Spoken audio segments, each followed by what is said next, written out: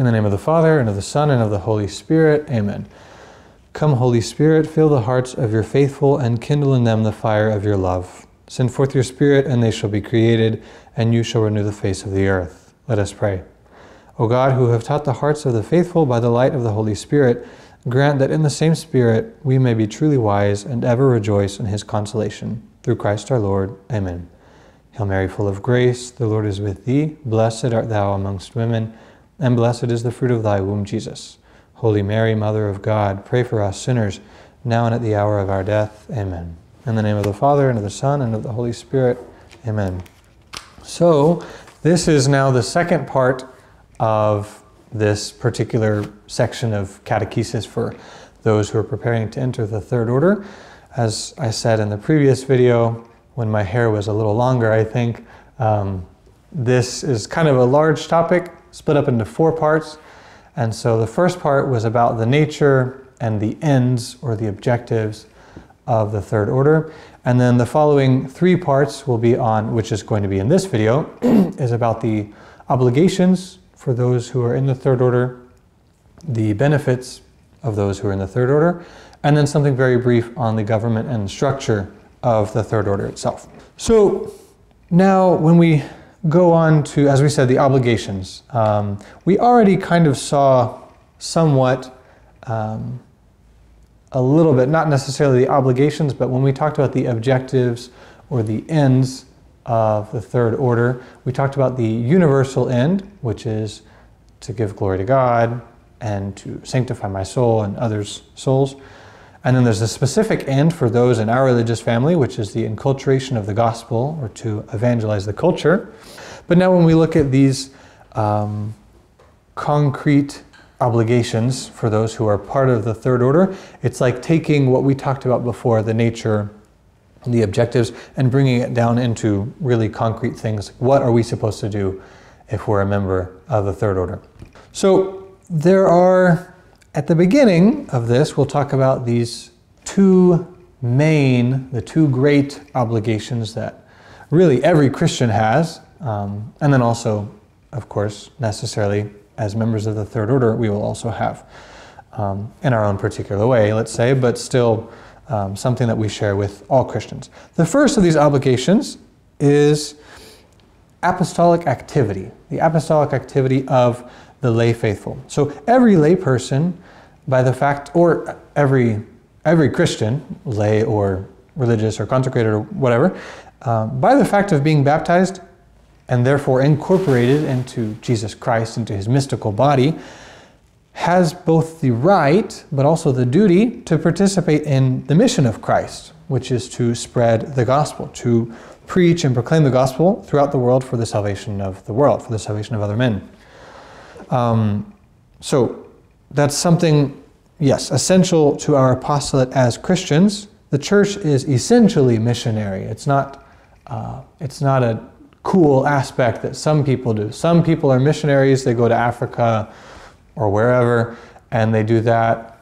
That's not me, I don't do that. No, oh, maybe we don't go to a mission land, but we are all called to be missionaries in a way.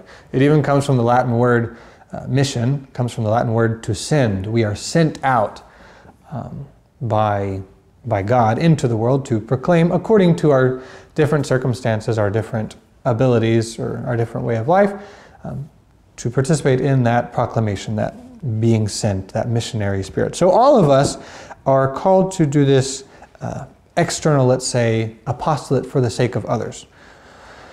Our directory says it is the aspiration, desire, and obsession of the laity of the incarnate Word to bring the light of the gospel to all men, manifesting Christ to the world from his own lay vocation, to bring and carry Christ to the most distant, most hidden places where priests cannot reach or enter, to evangelize cultures from the deepest, from the most intimate, making the Lord reign in reality, enculturating the gospel in the most remote places of human life kind of interesting. It says the places that the priests, we could also say maybe the sisters, the religious, cannot enter. Obviously, there are places that we religious, we priests or sisters, can um, enter, and it's not as if to say that the laity can't go there, you know, like, oh, there's a priest there, I can't involve myself. No, but what we're also saying is that um, there are places that we, because of our consecrated way of life, um, we don't get involved in, in many aspects of society. Not because they're sinful, but just because it's not uh, proper to us who are supposed to dedicate ourselves more um, specifically to the things of God to be in all of those ambits of society. So, if that's the case, then there may be people that we will never have contact with. And so, therefore, it's the task of the laity specifically in, in these other realms where maybe priests are present, but also specifically in that realm as well um, for the sake of those souls. So, the idea is that the layperson carries out this mission as a layperson, not as a religious, but as a layperson specifically, which is someone inserted in society, in the temporal reality as if the leaven of bread, as Christ says, you put leaven in the bread and, and then it grows. So we are like a living cell in society or leaven in the bread that causes it to, gives it life, makes it grow. And so this obligation of apostolic activity presupposes, necessarily presupposes the other major obligation, just like concave and convex naturally always go together, or presuppose each other, we could say. Um, so this second necessary major obligation is to seek one's own union with God, to cultivate the interior life, as it is sometimes said. The directory here says, as a cornerstone and foundation of all apostolic action, the laity must seek intimate union with God. There must be a very close union between perfection and the apostolate. The interior life is the soul of every apostolate and the guarantee of its effectiveness.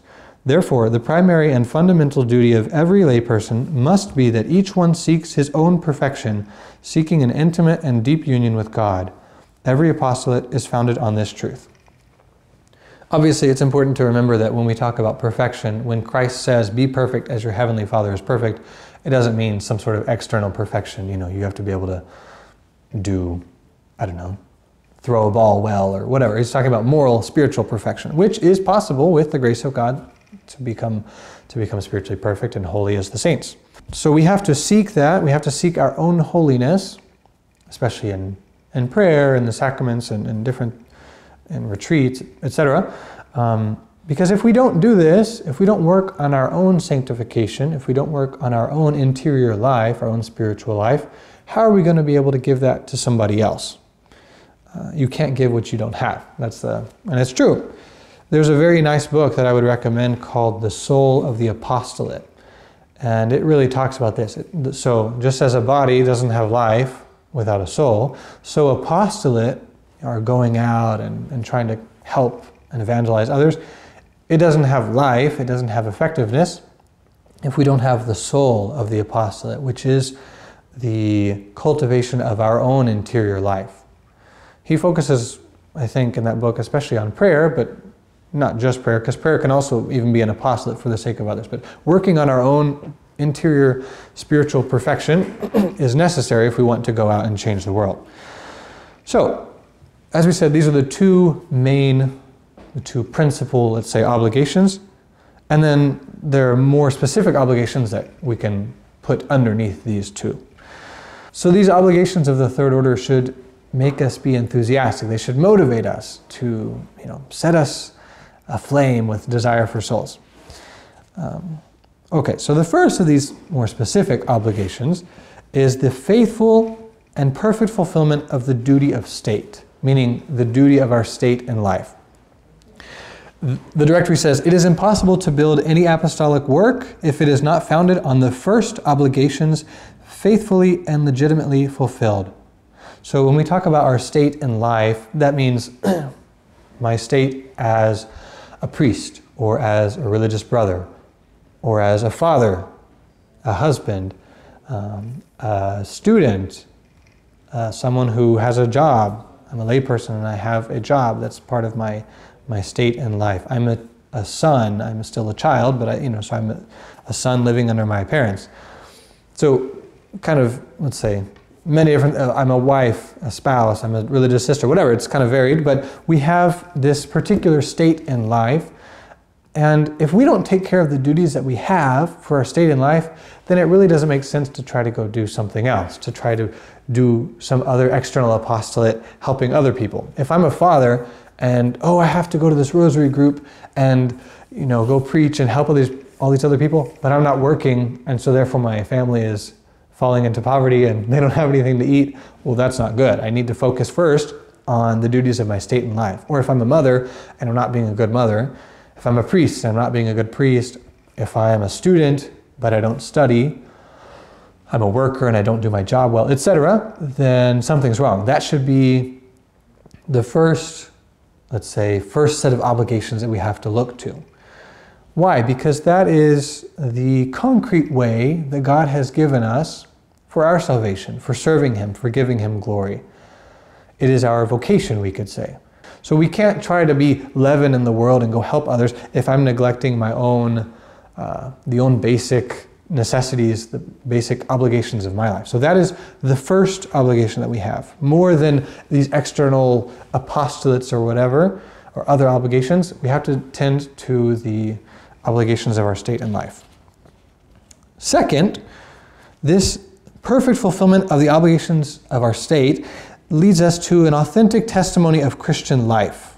So, this testimony of Christian life can shine forth when we live the obligations of our state and life. So, this testimony of Christian life is the second obligation, and this makes visible the living Christ. Again, if I'm yeah, if I if I'm a Christian and I'm trying to convert others, and I'm a father and I'm neglecting my family and they're suffering, uh, what kind of example am I really giving of of Christ? I'm not giving a good example, so it's not really a good testimony. So first, take care of ourselves, our our duty and our our state in life. I mean, and then also live uh, I mean, that's part of it, but then live, you know, the testimony of Christian life. So there's this beautiful text from St. John Paul II um, from this document, Christifideles Laici, on the mission and role of the lay faithful in the church. And it's quoted in our directory for Third Order. It says, The responsibility of the lay faithful in particular is to testify how the Christian faith constitutes the only fully valid response consciously perceived and stated by all in varying degrees, to the problems and hopes that life poses to every person and society. This vital synthesis will be achieved when the lay faithful know how to put the gospel and their daily duties of life into a most shining and convincing testimony, where not fear, but the loving pursuit of Christ and adherence to Him will be the factors determining how a person is to live and grow, and these will lead to new ways of living more in conformity with human dignity.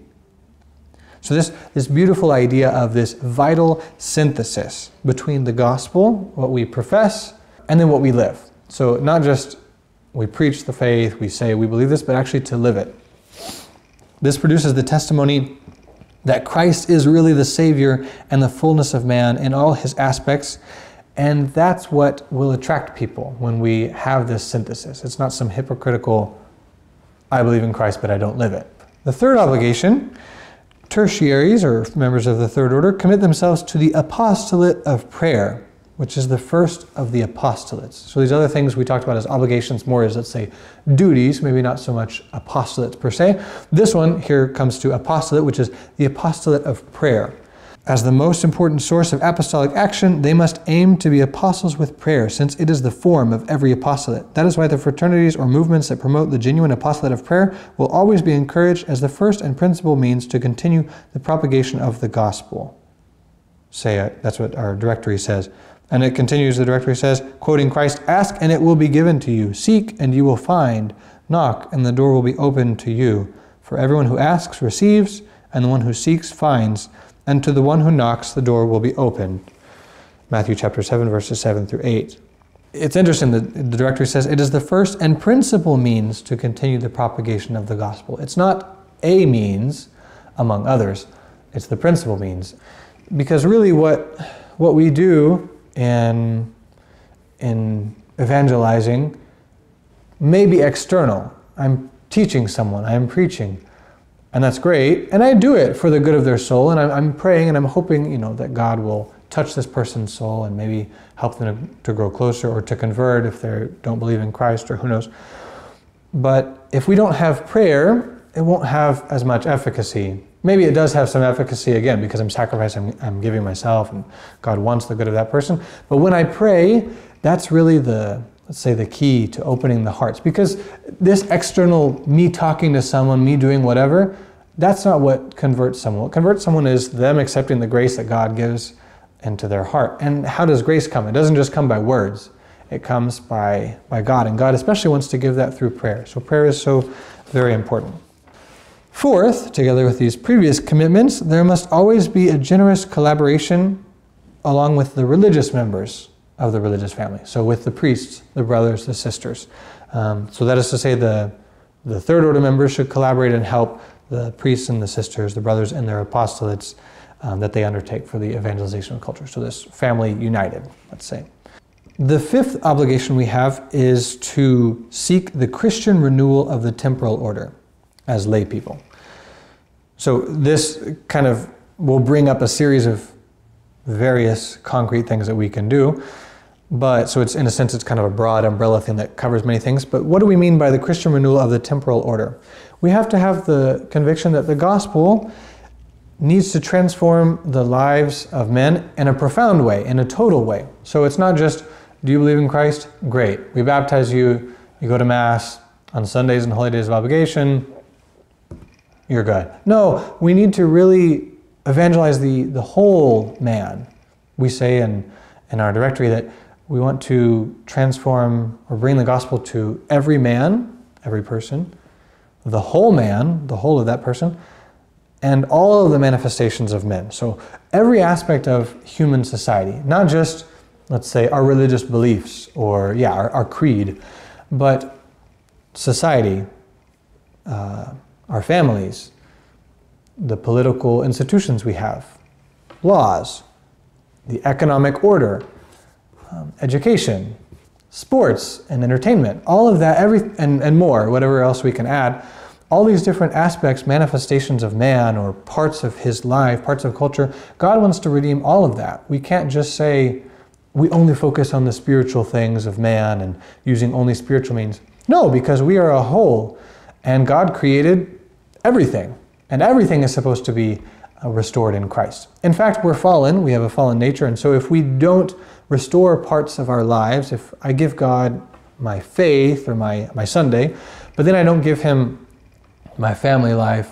I don't allow him to transform my political involvement in whatever capacity, my voting or whatever, my education, the way if I don't allow those other things to be transformed, then it's those elements of our temporal life, which are not directly spiritual, will become enemies of our sanctification and of the gospel.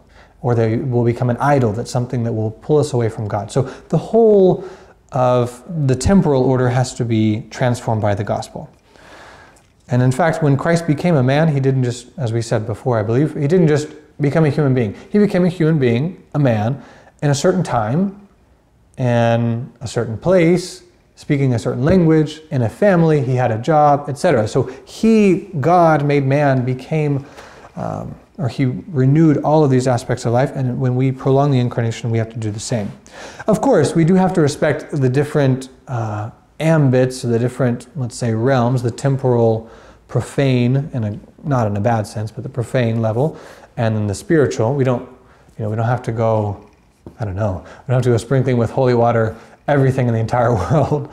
Um, but we still need to, even the things that are profane, that are not spiritual in themselves, should be illuminated by the principles of the gospel um, and the power and grace of Christ. So that everything that we do, in some way or another, is moved by the Spirit of God.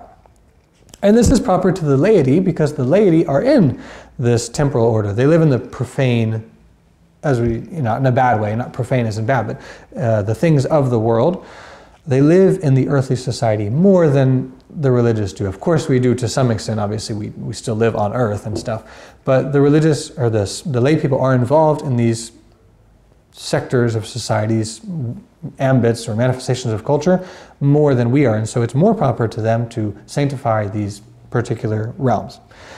The sixth obligation of members of the third order is the proclamation of the Word of God in all its forms. Obviously, a layperson can't preach a homily because that's reserved to the ordained clergy. But we need to know that since we are baptized in Christ, all of us, we participate in the prophetic role of Christ, his prophetic office, um, the munus propheticum. So Christ is a priest, prophet, and king. And we, by our baptism, are priests. We share in the priesthood of Christ, the common priesthood of the faithful. We are kings because we are heirs with Christ in the kingdom of heaven. And we are called to reign with him spiritually. And we're also prophets because when he was his prophetic mission is him coming and preaching the good news, teaching people and, and leading them to the truth. We too, according to our capacity, as a priest maybe or as a religious, in this case as lay people, can participate, have to participate in that according to our own way. Um, and yes, we could say, okay, well, we, we have to live, you know, the testimony of, of Christian life, as we said, there should be this harmony between what we believe and how we live, and that's good. We have to give a good example, but we also need to take concrete actions to externally uh, spread the gospel to Christ. Not just, oh wow, that's a good example, I want to imitate that. Yes, that's super important, but also directly, sometimes in different contexts, talking to people about it. So there are different ways that we can do this, such as in conversations with friends, giving good advice, helping maybe by teaching catechesis, catechism, giving classes, using social media, doing not every single person has to do every single thing, of course, but there we have to see what am I capable of doing? How can I share the gospel of Christ um, in an effective way in my life? And I think something important with this proclaiming the gospel, yes, we have to see based on our own abilities, our own state in life, our own situation, our own temperament, even, what we are able to do or, or what would be effective for us. And it doesn't mean that everyone has to knock on doors and say, Hi, my name is Jacob. Do you believe in Christ? Would you like to become Catholic? Like, that may not be the most effective way. Maybe in certain, it could be. Sometimes we do in missions go knock on doors and invite people to the church. That's fine.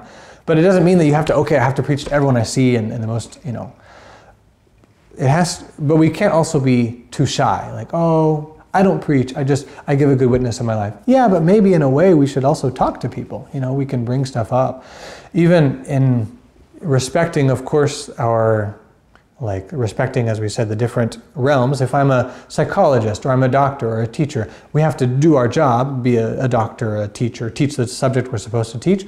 But in a way, we can also use that when appropriate to spread uh, the good news of Christ, especially you know as a therapist or, or yeah a teacher. Maybe you're not teaching spiritual stuff; you're teaching math. But there are ways, especially if you know the students well or who knows what, you can, in some way that's appropriate and effective, you can even insert, not as something secret, but insert the good news of Christ.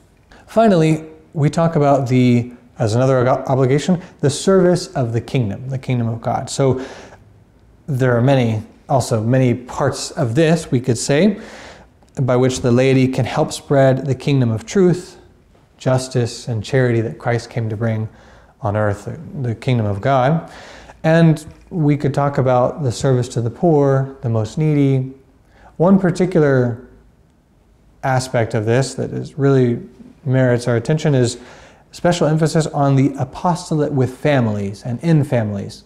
The family has been called the domestic church. At least that's what it's called to be. It's supposed to be a domestic church. It's the nucleus of society, the, the basic you know, cell of society. So from our families, our society comes forth.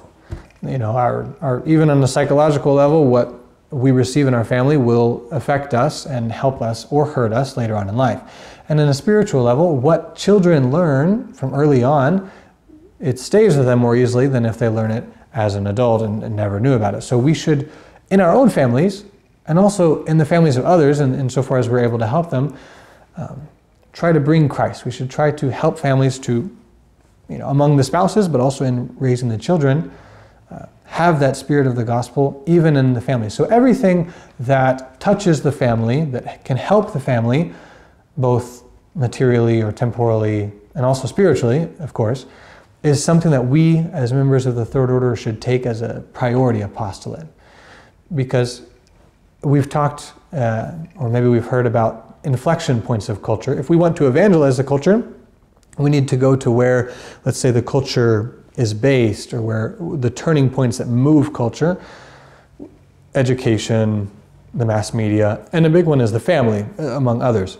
So if, if we don't, let's say, touch the family, if we don't move the family or help the family, then we're really neglecting a serious part of culture and the formation of culture. And of course, the, the well being of, of people. So if the, if the family is what it's supposed to be, if it is this great domestic church, if it's like a spiritual womb, nourishing children in the gospel and in charity, in justice, in honesty, and responsibility, etc., in the virtues and faith and the Christian life.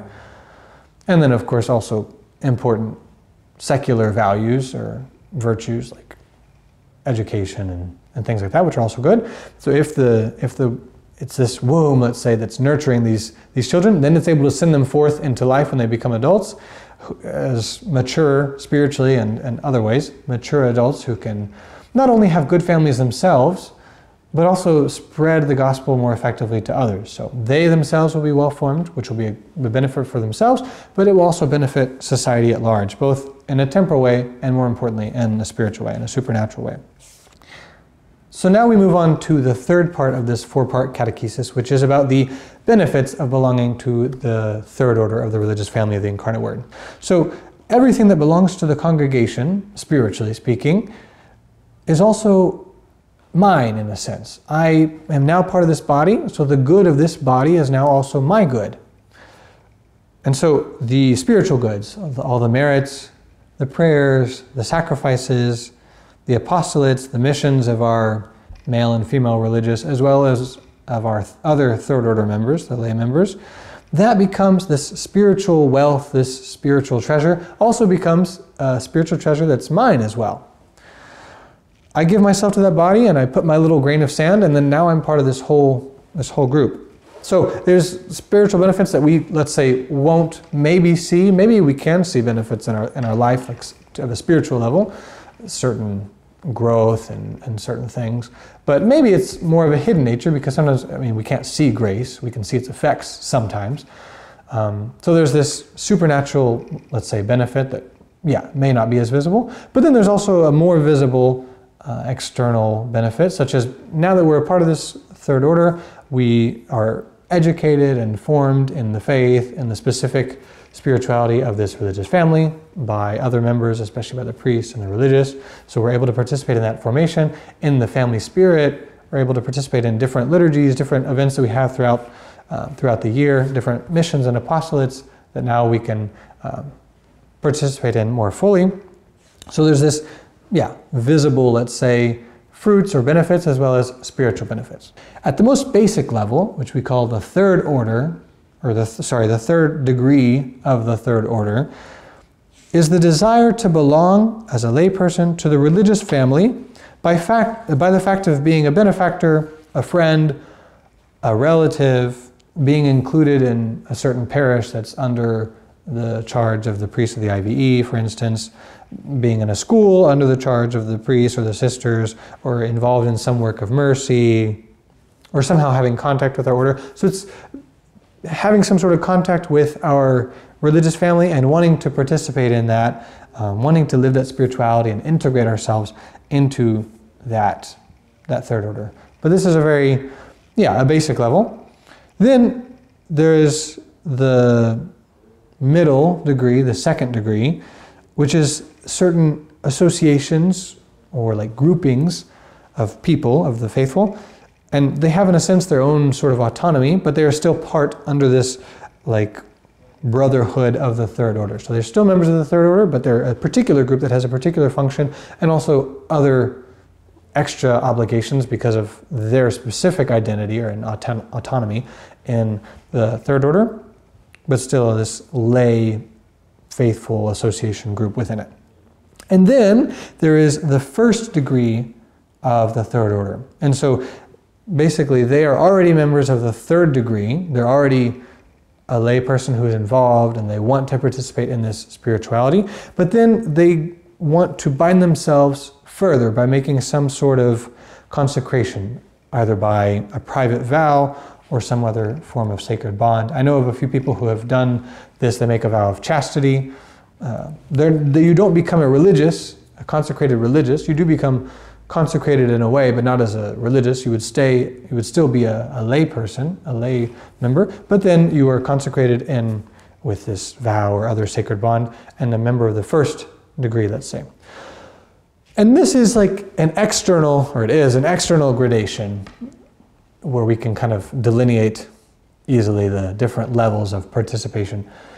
And that's important, but it also, that really depends on what God is calling us to. It doesn't mean that I'm not holier or that I'm not as holy as someone else just because, oh, they did the first degree and I'm only in the third degree. I didn't take a vow. Maybe God's not calling you to take a vow. You're a married man, so God's not calling you to take a vow of celibacy like He is some other person.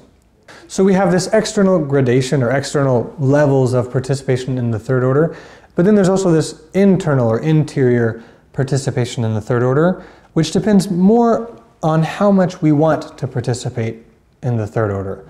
Um, our, it depends more on our freedom with the help of grace. Not so much God has called me to this particular particular level, okay, I will take a vow or I will be the third degree or whatever, but it's more how fully I give myself to my life as a member of the third order, how much I participate, how much I, uh, how devout I am in that.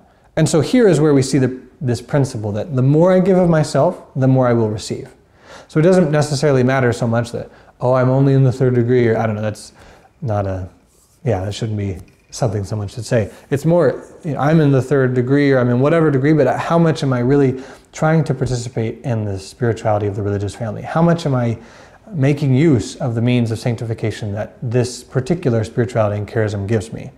Um, if, if we make heavy use of that, if we do the spiritual exercises every year as we recommend, as if I do spiritual direction frequently, I really try to pray the rosary every day, do these different things that we highly recommend. Um, and I further my formation by reading great books and stuff along those lines, then I will benefit more. I'll benefit more and, and I will be sanctified more. I will have more spiritual goods coming to my soul. Great. The more I unite myself to the spirit and charism of the religious family. Finally, our directory speaks about the structure and government of the third order.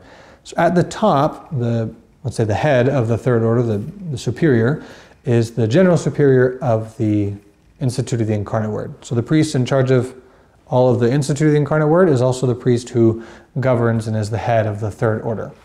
He also can have a senior advisor for the third order.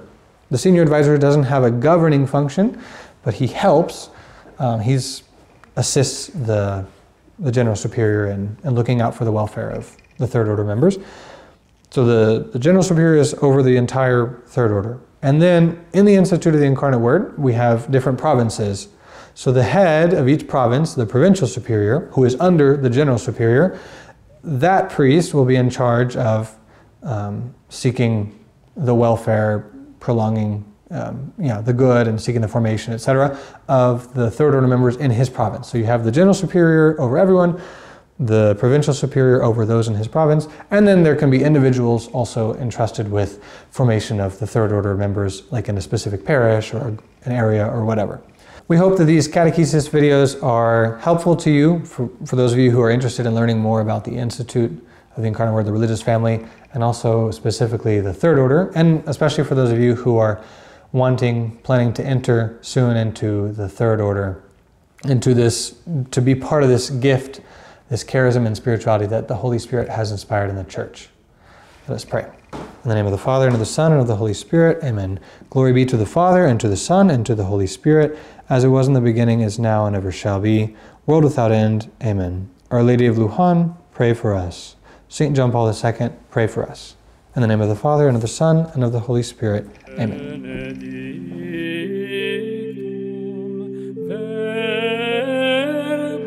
If we want to change the culture, if we want to influence society, then we should try to influence for the better those particular areas. If we, if we want to change a society, we have to change.